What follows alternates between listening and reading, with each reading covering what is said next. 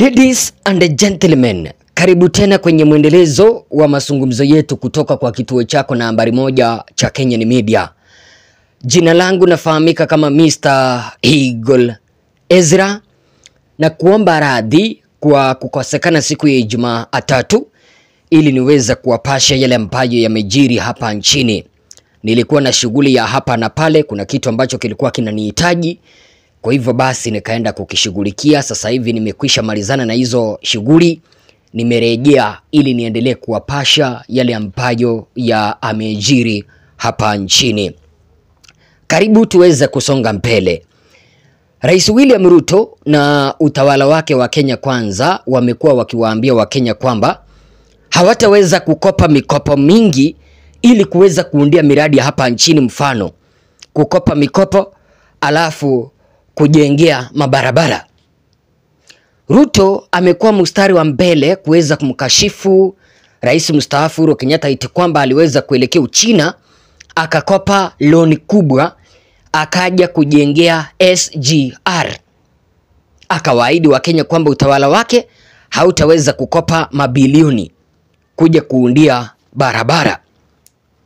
Wakenya wakamwamini, wakasema kwamba basi kama umesema hautakopa haya basi endeleza uchumi wa mbele, mbe, uchumi wa Kenya mbele. Ladies and gentlemen, utashangaa na hili lile ambalo naenda kukupasha. Tega sikio lako ndi. Rais Ruto wiki iliyopita, wiki nzima aliweza kuondoka hapa nchini akaelekea Marekani kwa ziara rasmi ambayo kwa lugha ya kimomba wanaita state visit. Katika ile state visit Rais Ruto aliweza kutia sahihi ama aliweza kutia kandarasi ama aliweza kutia signature miradi mingi iweze kuundwa hapa nchini chini ya utawala wake. Miradi ni mingi, tuliweza kuizungumzia hapa. Mojawapo ya mradi ambao Rais Ruto aliweza kutia wino ni kwamba barabara ya Nairobi mpaka Mombasa iweze kuundwa iwekwe expressway. Rais Ruto aliweza kutia signature for construction of Mombasa to Nairobi expressway. Four lanes expressway. Wakenya wakasema kwamba at least ameweza kuleta mradi mkubwa hapa nchini. Rais Ruto akaweza kuwaambia Wakenya kwamba serikali yake haitatumia pesa. Wakenya watasema hey, kama basi ameenda Marekani amepata marafiki wazuri wamekuja wamewekeza hapa nchini hili litakuwa ni jambo nzuri because aliweza kuambia Wakenya kwamba serikali yake haitaweza kutumia hata ndururu hata sumuni hata shilingi kuweza kujenga ile barabara ya Nairobi Expressway. Wacha niweze kuwachanua ladies and gentlemen, kwa wale ambao hawakuweza kuelewa statement ya Ruto na kutokana na habari ambazo zimeweza kutolewa hii leo. Sasa basi, Bwana Ruto aliweza kutia kandarasi na Marekani kwamba wakuje waunde Mombasa Nairobi Expressway, expressway ambayo itakuja kucost 470 billion Kenyan shillings ama ukipenda 3.6 billion dollars. Nanielewa?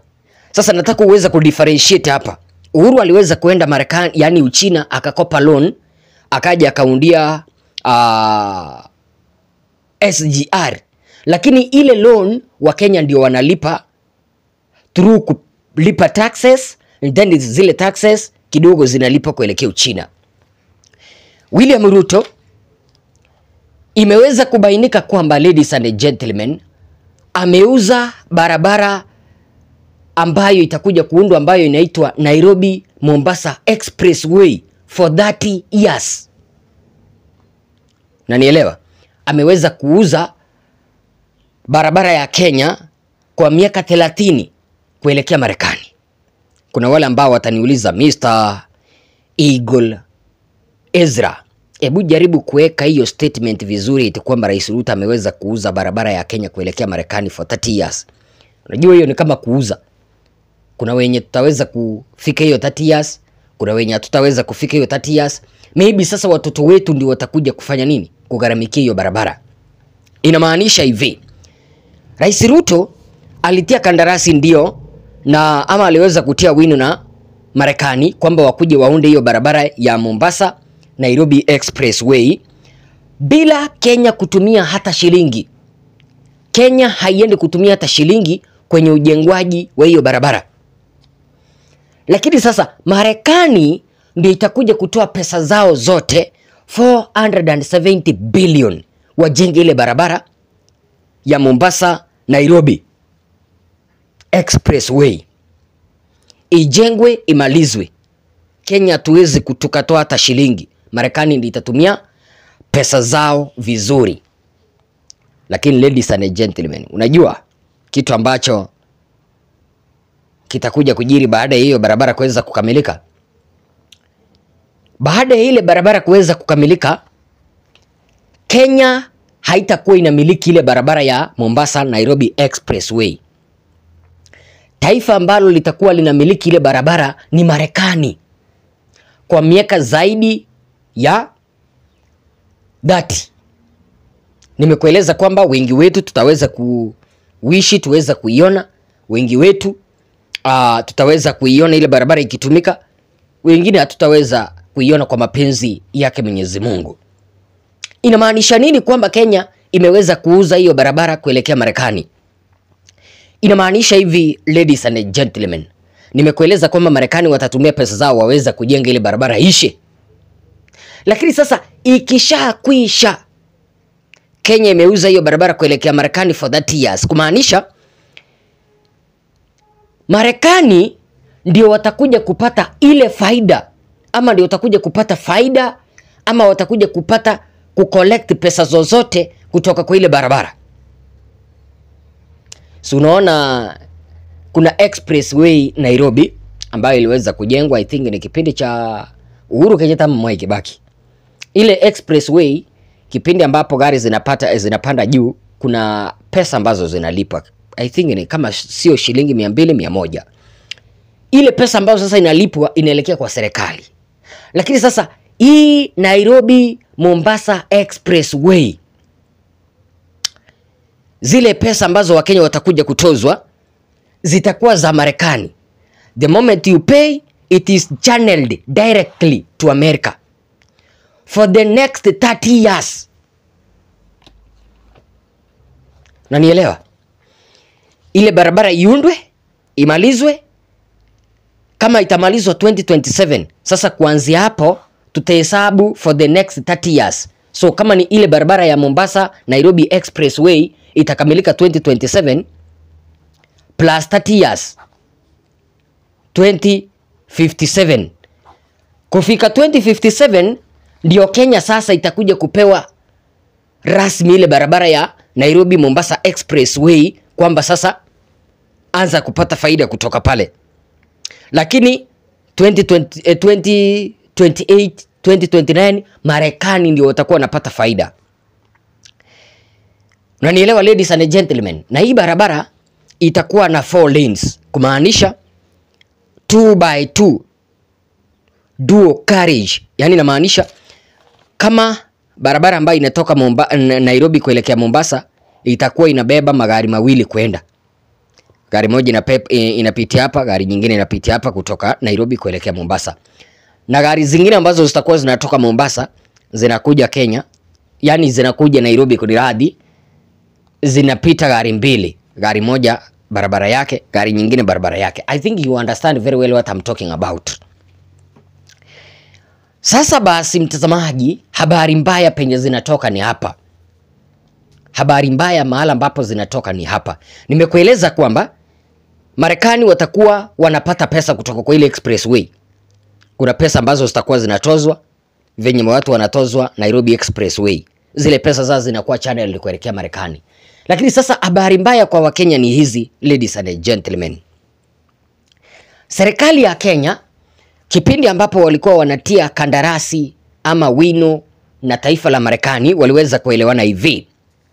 Baada ya ile barabara ya Nairobi Mombasa Expressway kuweza kukamilika, the government will start forcing Kenyans, more so Kenyan vehicles, Kenyan trucks and buses to use that Mombasa Nairobi Expressway so that they can collect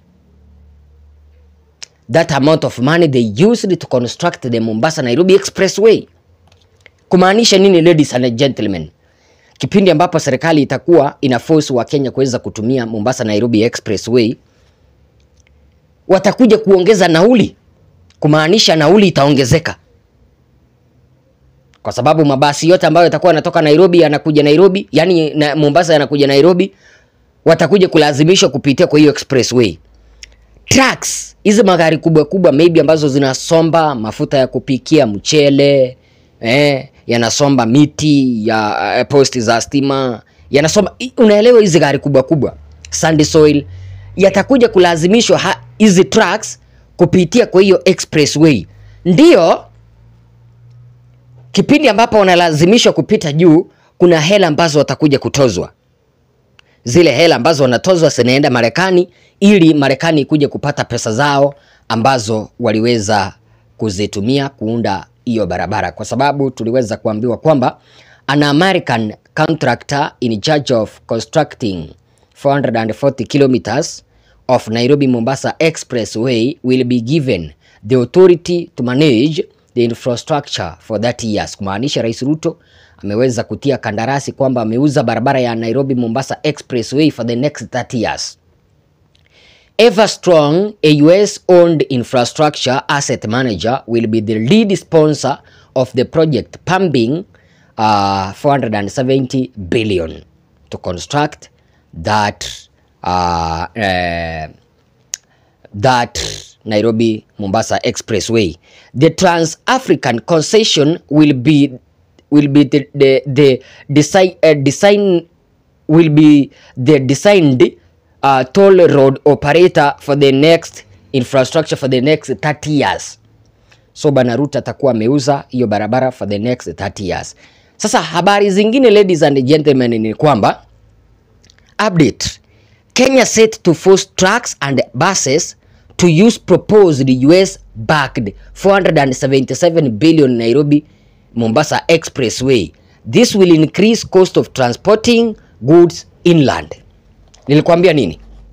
The moment wana increase, yani wanalazimisha tax pamoja na kuweza kulazimisha buses kutumia hiyo Nairobi Mombasa Expressway ambayo itakuja kuundwa ladies and gentlemen, na nimekueleza kwamba Kenya haitakuwa inatumia pesa zozote kuweza kujenga ile barabara.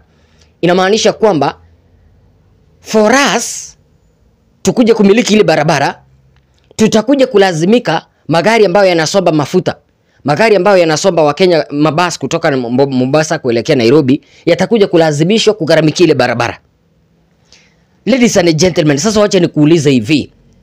What is the difference of taking a loan from China and constructing SGR and going to US signing a contract of selling Kenyan Nairobi Mombasa Expressway Expressway for the next 30 years? Kuna difference gani? Difference hapa, jina Bwana Ruto aliweza kuficha jina ni loan, lakini sasa Bwana Ruto ameweza kuuza hiyo barabara yenye itakuja kujengwa kwa loan, ama ameweza kuuziwa ile barabara in a loan form for the next 30 years. Wakenya watakuwa wanagharamikia, kumaanisha wewe mwenye utakuja kupitia kwa Nairobi Mombasa Expressway utakuja kugharamika maybe 20 bob, 30 bob.